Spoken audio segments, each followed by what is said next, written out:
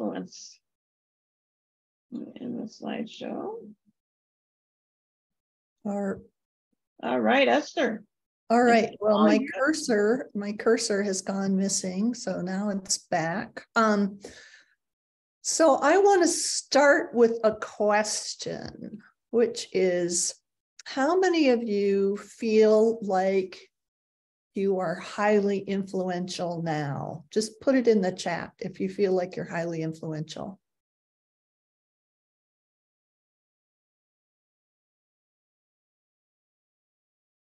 or not. Depends on the day, no, sometimes somewhat, kind of. Not enough.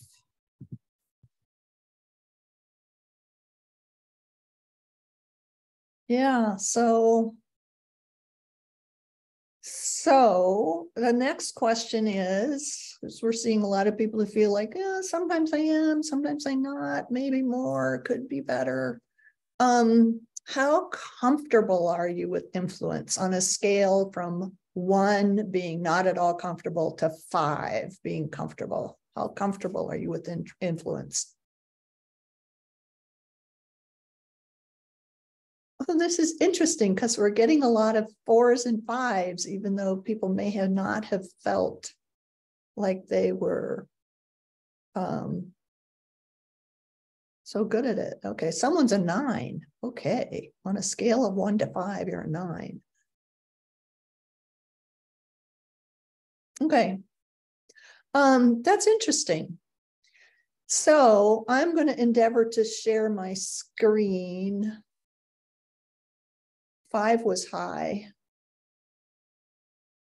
Five was one was low, five was high. So maybe maybe our reading is off. Okay, so I'm going to try to share my screen, and this might involve some futzing, as such things go. So far, All right, I'm going to. Did I share the right screen? you did. Looks perfect. Yay me! I get a gold Nice star. today. Um. Now let's see if I can see the chat at the same time. Nope, doesn't want to let me see the chat. So if anything interesting Whoa. comes up, you're gonna have to tell me. We'll keep you, we'll keep you posted. Keep me No. posted.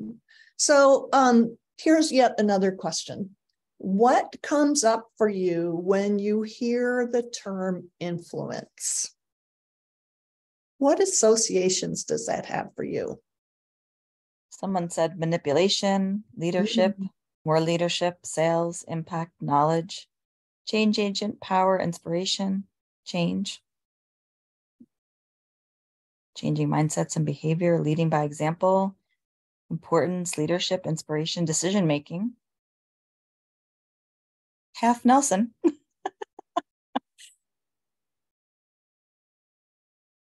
Yeah, I think, we- impact and creating change.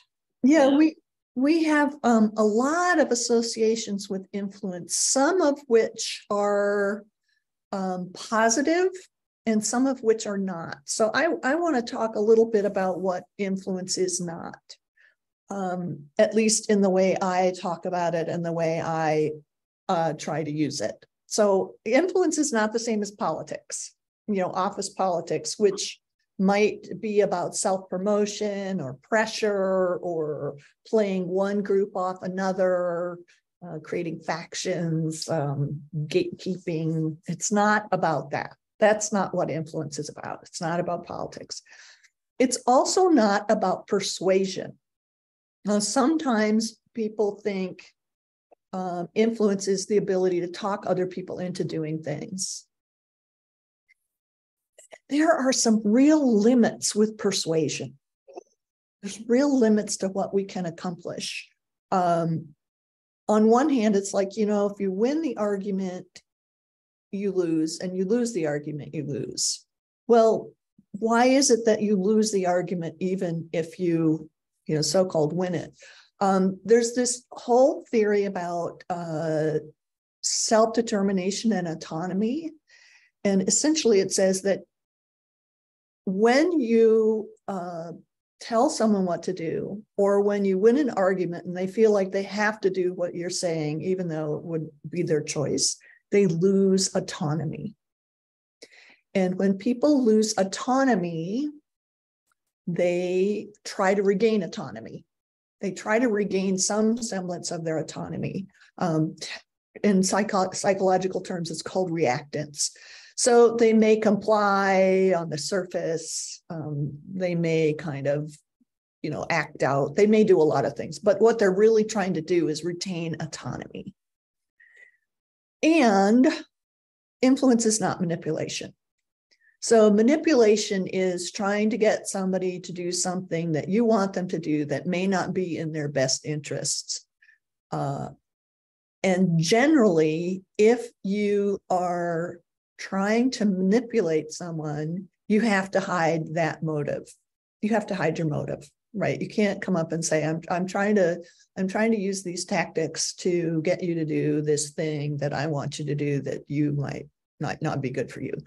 But with manip- with with influence, you can actually be straightforward and say, you know, I'm trying to um, shift your opinion on this, and I I hope that uh, you know I can I can um, find a mutual purpose.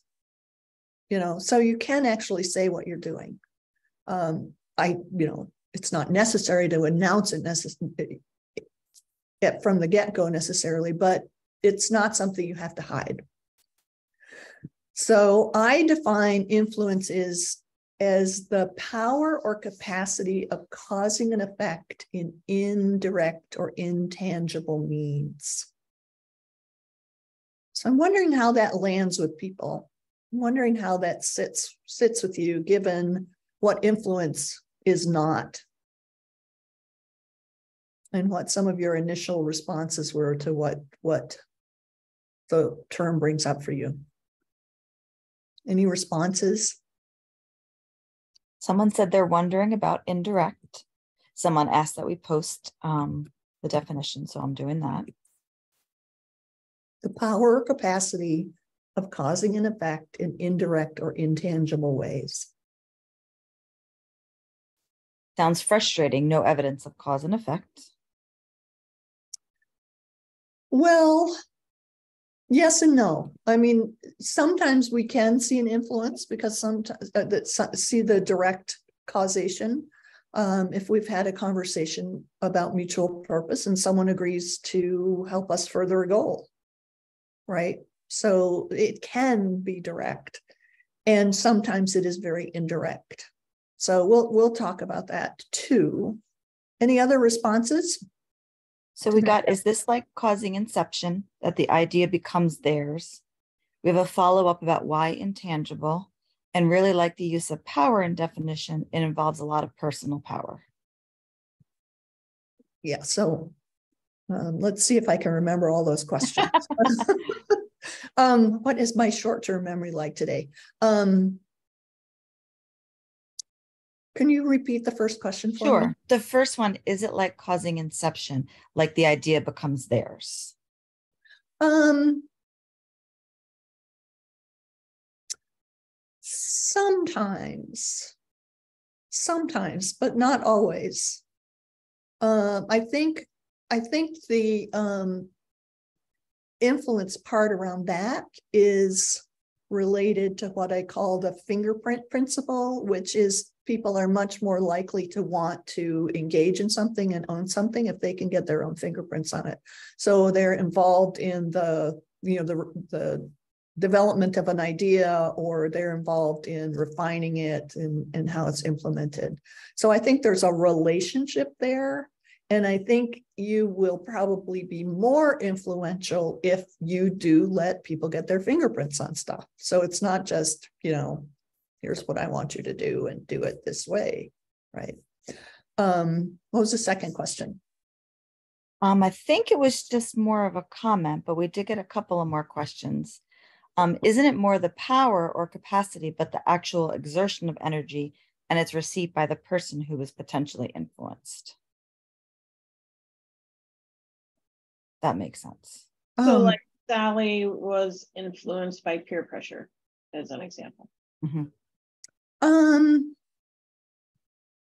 Well, we aren't talking, uh, we aren't talking directly about peer pressure here, but this is another interesting thing about influence because we are all very much influenced by our social networks and um, by peer pressure. Uh, there's some research that shows that um, all sorts of behaviors are influenced by what is considered acceptable in our social networks, like, you know, what it's appropriate to eat, um, whether we smoke or not, um, how we treat um, uh, petty uh, theft, you know, all sorts of things are influenced by what's considered acceptable in our social network. So that definitely influences us is in life. Um, I think what I'm talking more about here is intentional influence. Right.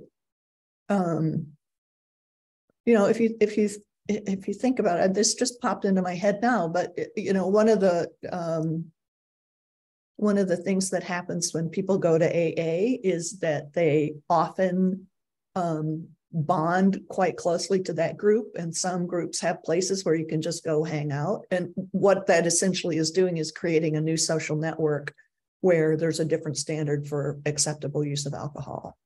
So it's very influential in that way. Um, was there another question?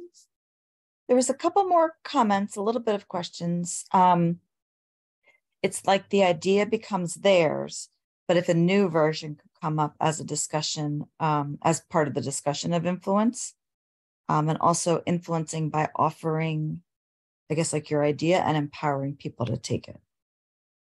Yeah, for sure. And I, I will, I'll touch on that in a little bit.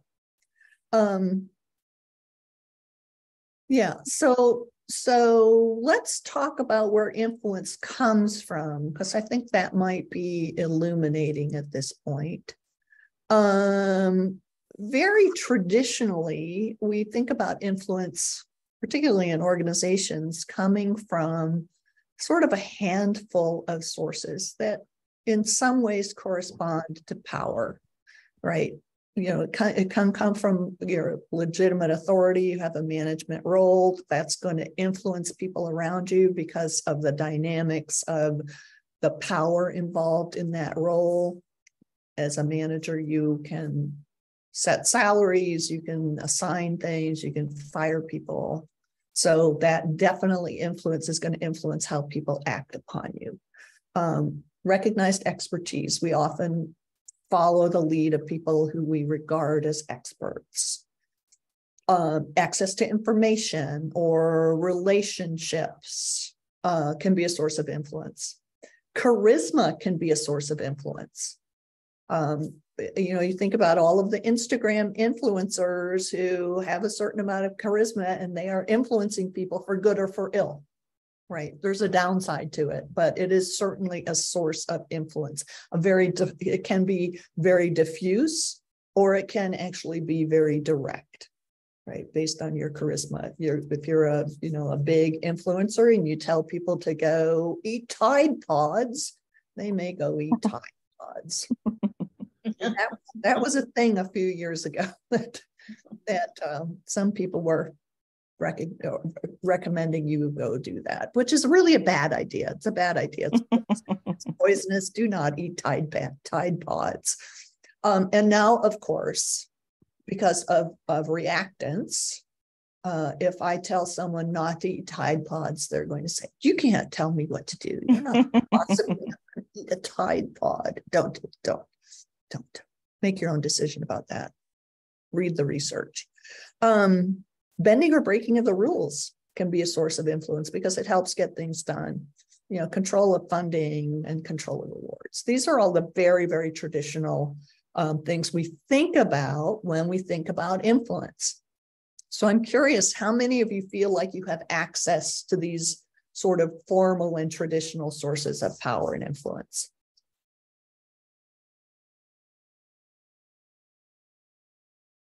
I miss seeing the chat directly. Some people are saying they do.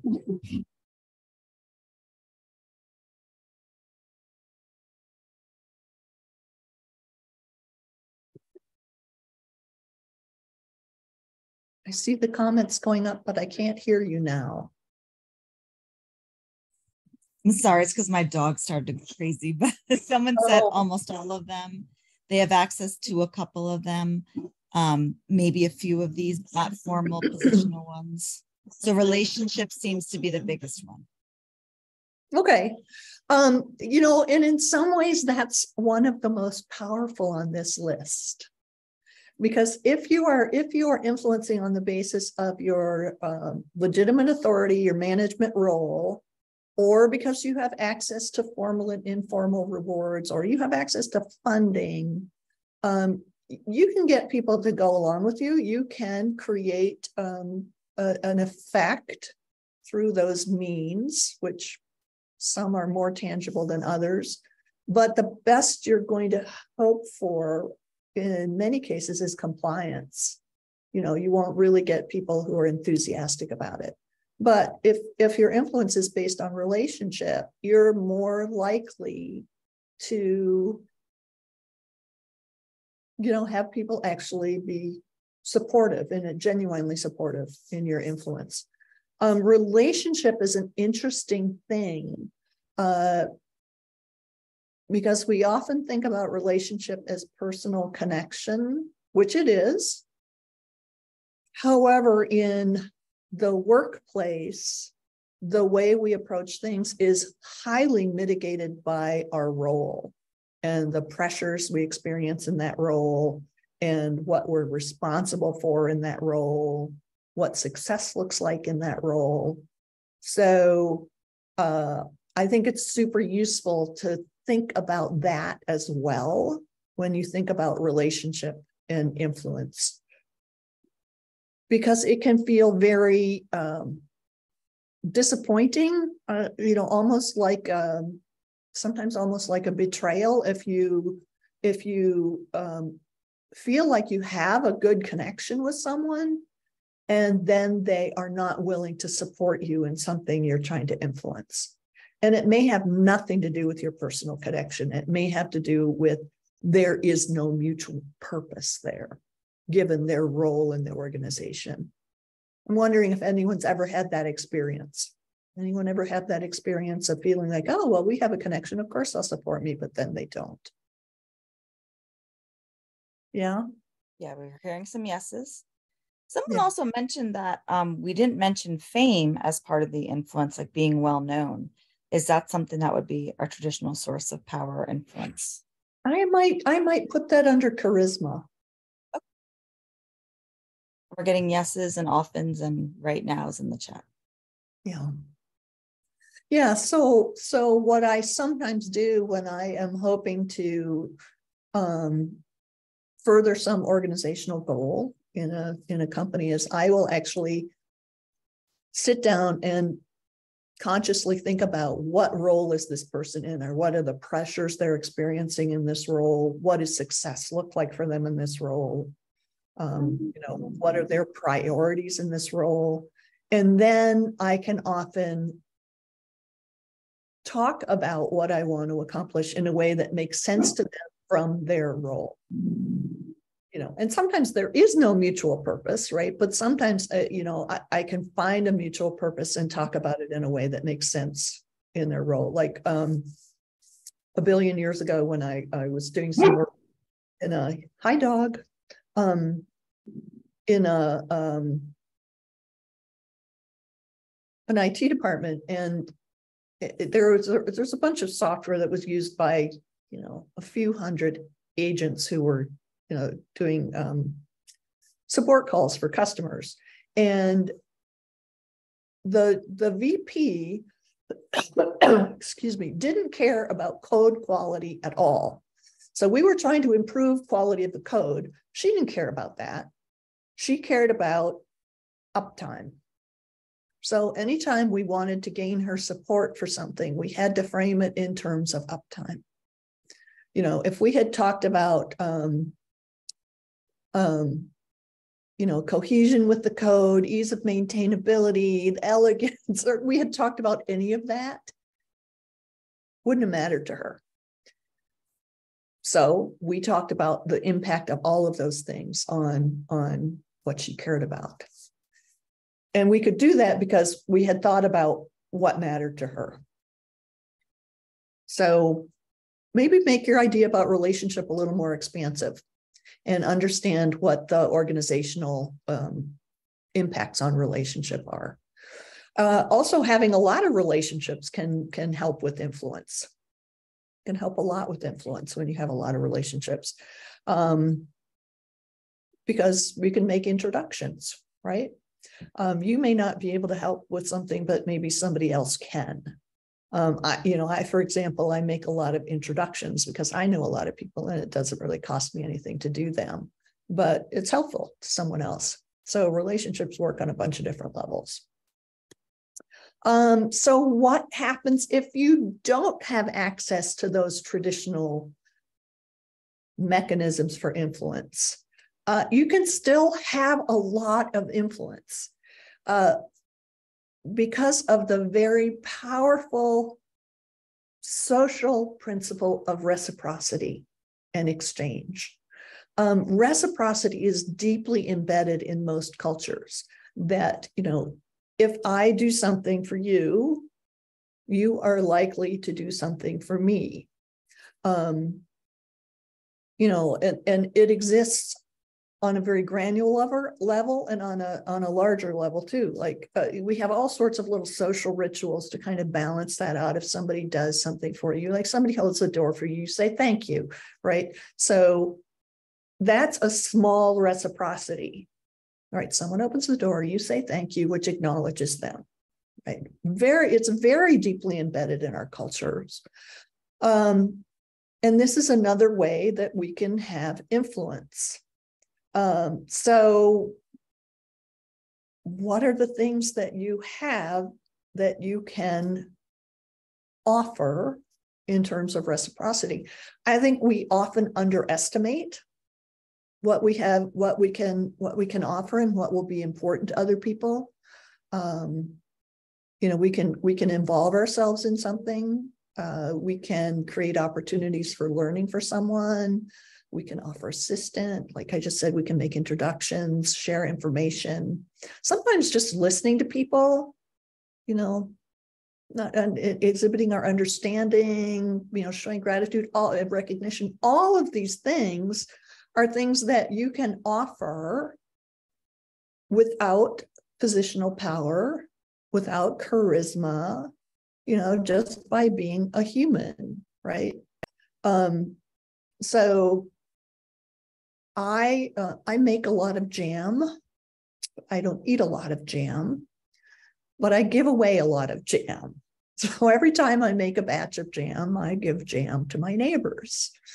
And if I make a batch of cardamom buns, which are a, a very wonderful Swedish thing, um, I give some away. And like that, I, uh, influenced by jam. That's, that's pretty Yes, the power of jam, the power of jam. I have quite the rhubarb patch, so I make a lot of oh. rhubarb um, rhubarb variations on jam. So, um, uh, Andrea says bribery always works. Well, I don't think of it as bribery. Uh, I'm not saying if you do this for me, I'll give you that. but um, you know, I mean, I, I do something nice for my neighbors, and they'll do something nice for me, like maybe help me with some snow. Um, so I mean, we all do things like that, and and you know, for most people, this doesn't feel manipulative, right? I mean, you can do it in a manipulative way, I suppose. Um, that you just kind of shower somebody with so many um, gifts that they feel obligated um, but you know, you can always also set a boundary around that and say no more gifts. Um, I did offer jam to the reclusive lady who lived used to live next door to me, and she said, "I will accept this jar of jam, but don't ever bring me another." Because I will be obligated to you then. She was very clear about it. And I didn't, I didn't feel any obligation to it at all. But um, apparently she. Um, um, Esther, we did get a question in the chat. Sure. Um, someone asked, um, I noticed that good questions are not on the list. Did that come in somewhere else? And then that person followed up saying, it seems that understanding is more about restating or understanding what a person said, but the asking good questions they were asking about. I think questions are a great way to influence. They're one of my favorite ways to influence, actually. Um, you know, by asking different questions, you get people thinking about different things. Uh, so I think they're they're actually an excellent way to to influence. Um, what was the second part of that? Just that um someone had suggested maybe the questions were the same as understanding and they Hmm. thought they would be two different things. I think they're different. Um, but demonstrating to somebody that you understand their situation, I think is a, a, a very good way to influence. I mean, particularly if you are coming in as um, someone who is hoping to make some change, which Scrum Masters often are. If you can demonstrate to people that you understand what their challenges are and what their situation is, rather than just coming in and saying, we're going to do the agile. Uh, I think that's very powerful. That's a, Yeah. that's, you know, that's, Meeting people where they're at, right? yeah. And, and, you know, once people feel like, oh, she gets us, or he gets us, or they get us, uh, they're gonna be much more likely to be open to what you have to say. You know, because, you know, you have influenced them, uh, the- they have been able to influence you, and then they will more likely to accept influence in return. Um, so, yeah, that sets up a really interesting reciprocity. And it's super powerful and it's super underestimated um, when we're going into change situations. Because we, I would read a question from the chat, but this is actually my question. okay, is Where does trust come in here, right? When, when it, in terms of influencing others? Oh. Um, in the next slide, Oh, well, look at that. I'm getting ahead of, in a roundabout way. So, um, so the, the, the items, um, that I just talked about are sometimes referred to currencies of influence, right? Um, involved in an exchange. Um, there's some interesting work by Adam Grant in which he talks about givers, takers, and matchers. So I'll get to your question. Nope. Well, I'm not, Nope. I'm not, I'm just taking a roundabout route. Um, so which do you think um, of givers, takers, and matchers? So givers are, you know, they'll just offer these sorts of, of, of support or currencies, and takers will take it. And matchers make sure everything's even. Which do you think are most influential, the givers, the takers, or the matchers? Just curious. We have matchers, Mm-hmm. givers, matchers, basically matchers and givers so far. Right, and that's where trust comes in. Mm, So takers are the people that will be very happy to receive some support or some encouragement or some assistance or some visibility or, you know, whatever it is. But they are less likely to offer it to peers or to people who are below them in the hierarchy. They will offer it to people above them in the hierarchy mm, but they will not reciprocate to people who are peers or below them. And they very, very quickly lose trust. People figure that out pretty fast. Um, and they can uh, find themselves in, you know, really um, uncomfortable situations through using that strategy. I mean, you know, in some cases they get turned in. Like I think there was some of that happening with Enron. If any of you remember Enron, mm. It was a big financial scandal a number of years ago. Um, so trust definitely plays a part. Right. And and people who are always willing to accept some kind of support, uh, but are never willing to reciprocate lose trust. So it plays a part. Um, the research shows that givers are the most influential assuming that they do not neglect their own needs and responsibilities in the act of giving. So there needs to be a boundary there. Um, but some of the, in this particular um, research, the people who were willing to do little things for people, you know, it's not going to take me more than five minutes. It's not going to cost me a lot of money. Um, I'll just do it because I know that sooner or later it will be reciprocated, perhaps in ways that I can't imagine at this point. Those are the people who have the most influence. So you have to be careful of your own time so that you're not, you know, doing stuff that ends up um, getting in the way of your own responsibilities or you know drains you dry or you know leaves you depleted but uh, it's one of those um, one of those resources that is not a finite finite um, return, right? Because we, we can't always predict when something's gonna going to be returned to us in a way we didn't expect. Right. like I said, I make lots of little introductions for people because, you know, I know a lot of people. Uh, and, you know, occasionally, just sort of out of the blue, something will come back to me. You know, and I can't, you know, the, the path might be quite long or it might have uh, in terms of the number of hops or in terms of the number of months, but something really quite wonderful will come back. Right. So it's it's I think it's worth thinking about. Um, matchers, like I said, are the people who try to keep it, you know, quite matched up here. You know, well, you did this much for me, so I'm only going to do that much for you. Um, you know, they have influence, but there are some limits to it. And again, it's a matter of boundaries, right? If you if you find yourself with a taker, then you want to set the boundary. But in general, uh, you know, if it's not if it's not uh, costing you, then it's generally worth um, spending some currency. So, what kind of questions are coming up? So far, I think we got all the Um, questions. Yeah, there seem to be, you know, some comments like, you know, we shouldn't expect to give with the expect, or we shouldn't give with the expectation of getting something in return. Um, givers have the boundaries. benefit of karma. Oh, yeah, karma comes up. Yeah. And Yeah. Just that boundaries are important. Yeah. Yep. Healthy boundaries, healthy boundaries. That might be a good distinction. Yes, healthy boundaries. Um, I think they're super important in that.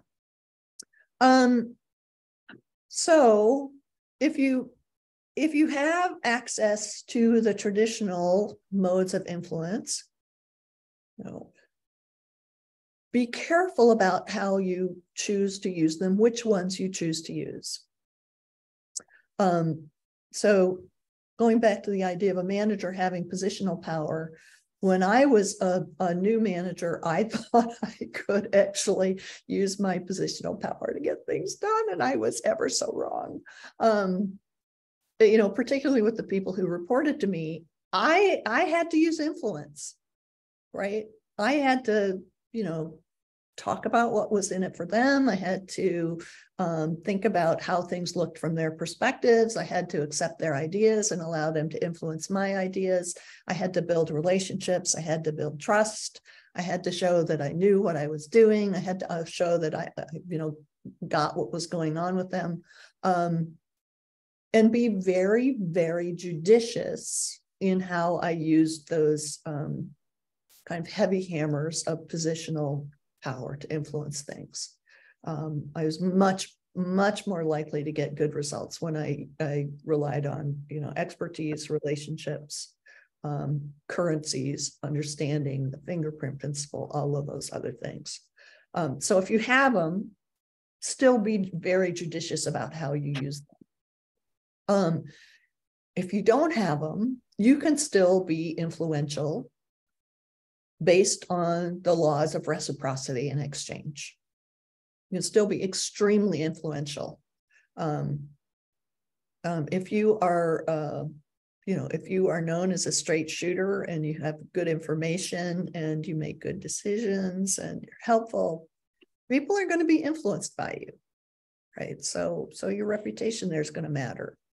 Um, and remember that giving is the most influential strategy, much, much more so than, than being a taker or a matcher. Um, Esther, someone just asked about the fingerprint principle. Oh, the, the fingerprint principle? Mm-hmm. Yeah. Um, that is the principle that people are much more likely to embrace some idea if they have uh, if they are able to shape it so if you uh. about um, and I think this is super relevant to people who are in Scrum Master roles, who are, you know, by the definition of the role, kind of expected to come in and, you know, do the agile, um, do the Scrum, and it's very prescriptive how you how you do Scrum, um, which doesn't allow people to get their fingerprints on it at all, right? And it's it can it can activate the reactance because people feel like oh you're telling me what to do. So so you know look for ways that you can build on what's working and let people shape the ideas. You know even if they're not like perfectly by the book um you may be much more likely to get people's agreement to try something if they have a hand in shaping it. Um, the other way this comes up a lot is I see people um,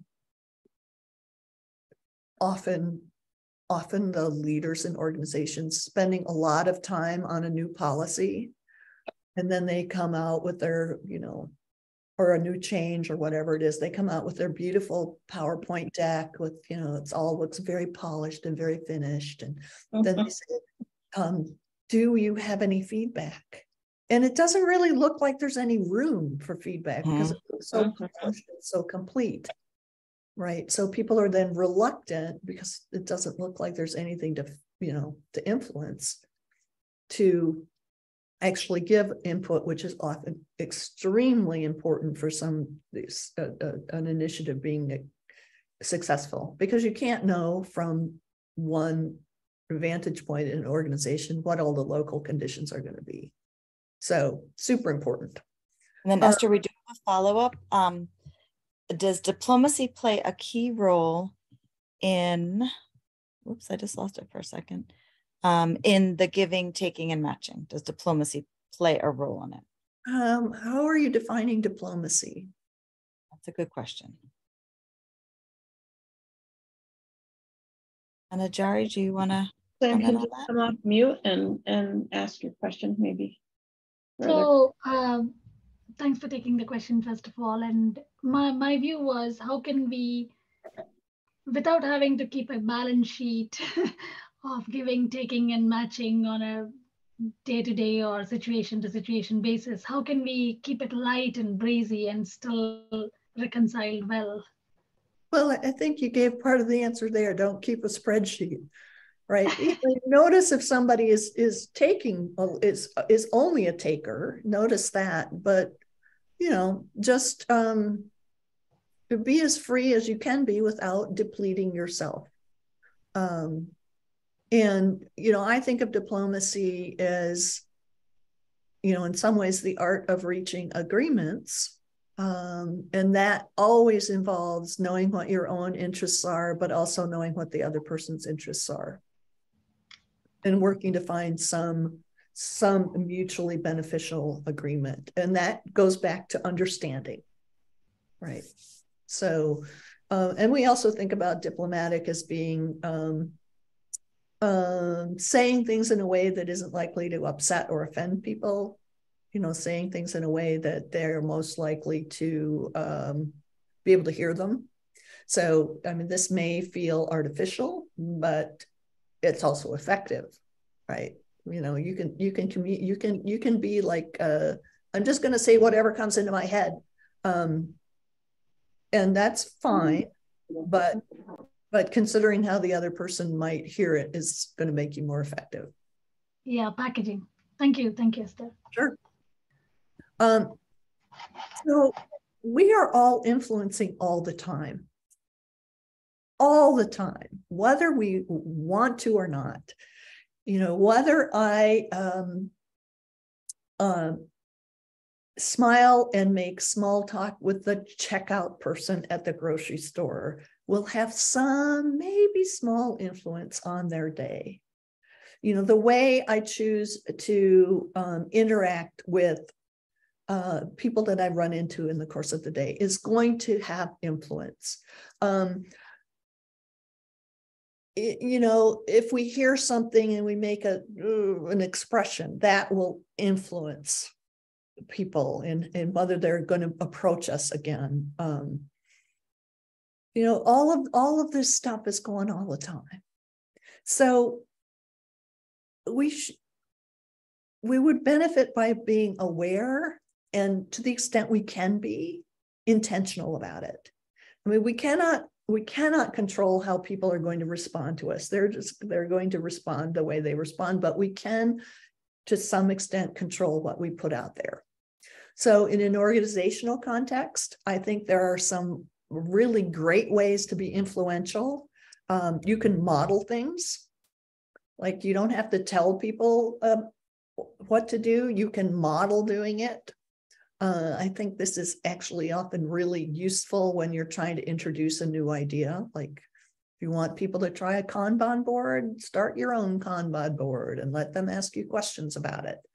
Um, you can insert ideas obliquely, like by saying, Oh, I read this interesting article. I think it relates to what we're doing here, and just share it with people. Um, someone asked about questions earlier. I think that is a great influencing technique is asking questions, asking different questions that focus people on a different aspect of the system. Uh, I find analogies are often influential. Um, sometimes trying to explain a technical concept um, may not go over well, but uh, you know, an analogy can help. Like uh, I might ask people, how many of you have more than one home improvement project going on right now? And you know, some people will put their hands up and then it's like, well, how much progress are you making on all of this? Well, not that much. And that can that can be an analogy for limiting WIP, right? So there's all sorts of analogies you can use. On track and fan, is a matter of noticing when something is going well and encouraging it. You know, giving it's like it's you think about it as a little flame and you fan that flame so it gets more air and it it grows bigger. Um, that's another great way to influence is to just look at what's working and give it some give it some love. So the the thing, the thing, and this again goes back to um, the question about trust is don't be skeezy. You know, don't be don't be the taker. Don't uh, confuse manipulation and influence, and you will find that you if you're intentional and aware about it, you can you can really um, get a lot done in organizations. Um, I want to share some resources with you. Um, which I think are useful about influence. So here they are. And I think we have a few more minutes for questions. Um, Esther, some are asking, would you be willing to share your slide deck um, with me and I can send it out to the group after? Um, I am willing to do that. Okay, that would be great. Thank you. Yeah. Yeah. So if anyone has questions, just feel free to come off of mute and, and ask. We had one in there, how do you have more influence online?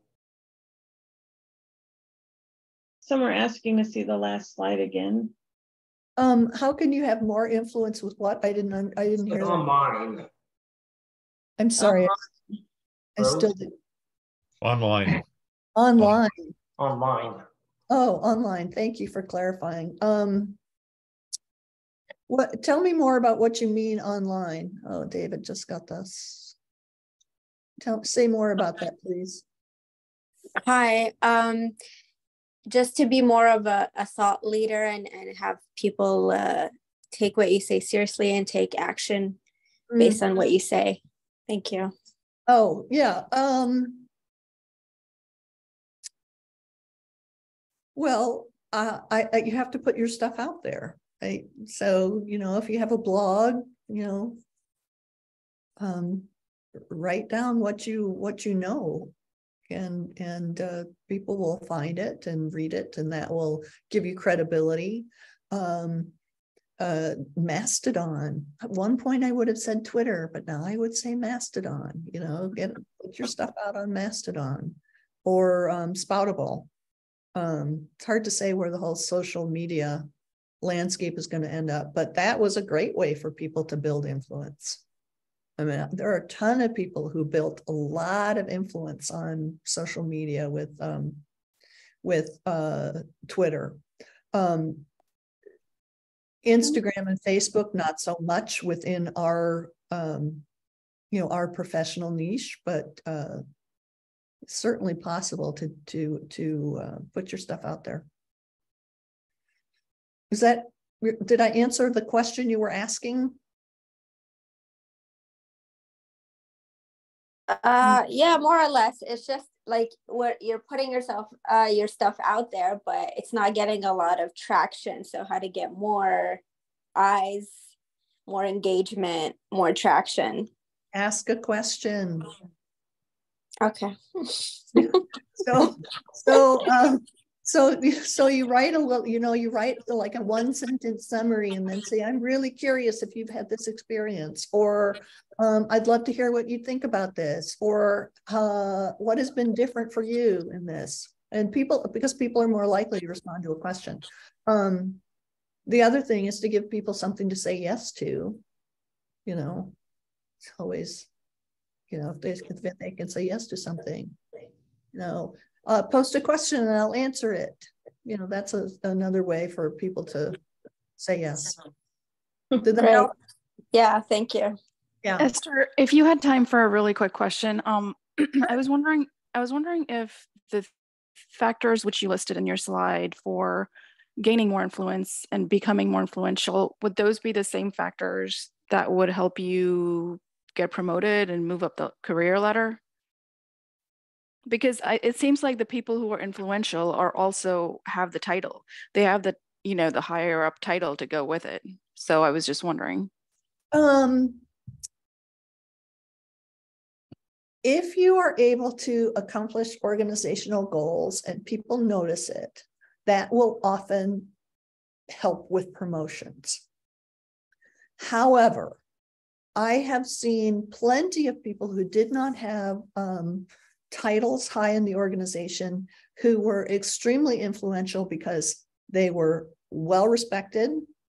You know, they had um, uh, were known for making good decisions. They were known for being honest. You know, some combination of these things. You know, they were known for their technical expertise. Um, they had good relationships with people. I have seen plenty of people without big titles be very, very influential in organizations. So it's a yes and. Mm-hmm. You know, and I and I have seen people who have big titles who are really not influential at all. You know, they are not the people people go to for advice. They're not the people that um, are sought out for problem solving. Um, you know, I, I I have run across people who, if high in the organization, that if they say something's a good idea, everybody knows it's not. Yeah, yeah, that's a good point. It's so there are two different things. Like like you're saying, um, it's not synonymous. The title doesn't necessarily mean anything. Um, you know, in terms of influence. Well, you, you have positional power. You have right. that positional influence, but I actually think that's, you know, uh, the the last thing to rely on. If that's if that's the only way you can get things done in an organization then um, you're using a lot of a lot of goodwill and a lot of um, you know relationship credit uh, when you could be getting things done in a much more effective way. You could be far more influential and be building relationships and building trust uh, if you used other methods. Thank and you I so much I Yeah. think if more people understood that, um, most organizations would be happier places. Do we have uh, Okay. time for more questions? Perhaps, Jamie? Well, let's, let's leave that up to Esther. How you feeling? If you, you want to spend maybe five more minutes or just maybe take one or two more questions? Oh, the, the big, uh, the big, uh, constraint around, um, my time here is when do I get super hungry and need to go eat lunch? So I can stay for a little while longer. So let's just do, let's do, let's do one or two more questions and that way we can let Esther go and, and have her lunch. Okay, then I will um, use the opportunity to ask. Um, how, uh, what is your approach in influencing people who likes to debate like endlessly around everything, really, literally everything? Um, uh, when it comes to agile, when it comes to Scrum, when it comes to any decision, so maybe can be a little bit of cultural because I, I do live in Netherlands. It's also cultural to polder they are saying about everything. It's like a, having a debate and then um, having um, many arguments so to convince the other party. Um, not sure if you if you have met um those type of personalities, but I'm really curious how to how what is your approach to influence them? Yeah, I've met many people like that. And and and you know debating and arguing can be fun for some people. And it can be fun for me depending on the topic, but not always. So um particularly if I'm in a group, um what I sometimes do is I will just say at a certain point, well, let's just check and see what our agreement on this is um, you know, in terms of, you know, are we willing to try this? And very, very often, everyone will agree they're willing to try it. But they've just spent the last, you know, hour arguing about minor points, right? Because it's fun. Yeah. So, um, you know, sometimes I'll just ask that, you know, are we in agreement that we can at least try this? um because it it it it it's a little intervention on that argumentation cycle um i have also watched people argue about stuff for you know an hour or more and you know by the end of the time they have talked themselves into it which is is you know gets back to the fingerprint principle and gets back to that whole persuasion thing. You know they've talked themselves into it. I haven't talked them into it. Um you know so i sometimes uh, depending on the situation i'll let the argument go on because if it seems like they're kind of working through in a purposeful way. Mhm. yeah. Thank you. yeah so it's worth a try it's worth a try So Esther, we have a few more questions in chat, but I would like to propose this. How about, um, would you mind if I emailed you those two or three other questions and, um, and, and maybe you could email back an answer I could send out to the group? i would not mind that at all Okay, that would be, that would be wonderful. i'm wondering if i will be able to um save the chat file i should be able to If not, um, I, I will send it to you as well. Oh, here we go. They changed their controls. So anyway, I just saved it. Um, thank you everybody for coming. It was so nice to see people from all over and to recognize some of the names and faces. That's always fun. Um, For sure. I do, I do have a- question uh, based on what came up with your uh, Scrum Day in Madison. Who can I contact about that? Um, so Mary, Is this Mary? Mary Iqbal, E, I Q B A L, Yeah. yeah, with Rebel Scrum. Oh, okay. Mailbox was full. Yes. Yes, that'd be great. Um, I'm, I'm helping Mary a little bit. So yeah, we're looking for more, more speakers always. So Have her email me, please.